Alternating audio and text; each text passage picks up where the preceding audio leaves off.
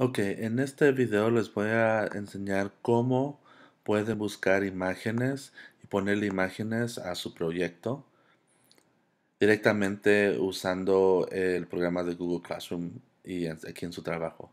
Lo que lo primero que van a hacer es van a ir acá arriba donde dice Insert, Image de imagen y luego lo van a poner aquí donde dice Search the Web. Cuando le pongan aquí, va a salir aquí esta otra parte donde van a poder poner qué imágenes van a querer buscar. En este ejemplo de nuestro proyecto estamos buscando imágenes de la universidad o del colegio que nosotros elegimos. Entonces la universidad que yo elegí es la Universidad de Texas en Austin o a veces la llamamos también UT Austin. Entonces voy a poner aquí UT Austin, le voy a poner Enter. Y aquí hay varias fotos e imágenes de los edificios de diferentes partes de la universidad. voy a elegir en este ejemplo esta, que es una, torre que está en, la universidad durante una celebración. Cuando le hago clic, aquí va a salir esta palomita que dice que está elegida. Y acá abajo va a decir Insert. Le voy a poner aquí Insert.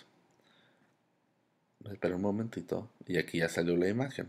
Ahora está un poco muy grande porque voy a querer varias imágenes. Entonces le voy a hacer clic. Van a salir los cuadritos azules. Y lo voy a agarrar de un cuadrito azul y lo voy a hacer más chiquito.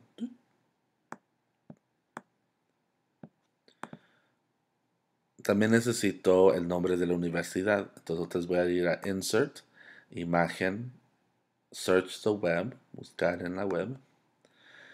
UT Austin logo. Necesito el nombre de la universidad. Aquí está, University of Texas at Austin. Aquí abajo donde dice Insert. creating image. está un poco muy grande, entonces la voy a hacer un poco más chiquita. Lo estoy haciendo clic aquí donde está el cuadrito azul de la esquina. Lo estoy haciendo más chiquito. Lo voy a subir acá arriba. Este lo voy a bajar un poquito. Un poquito más chiquito.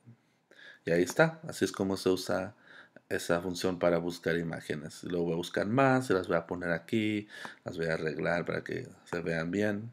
Y así es como se hace.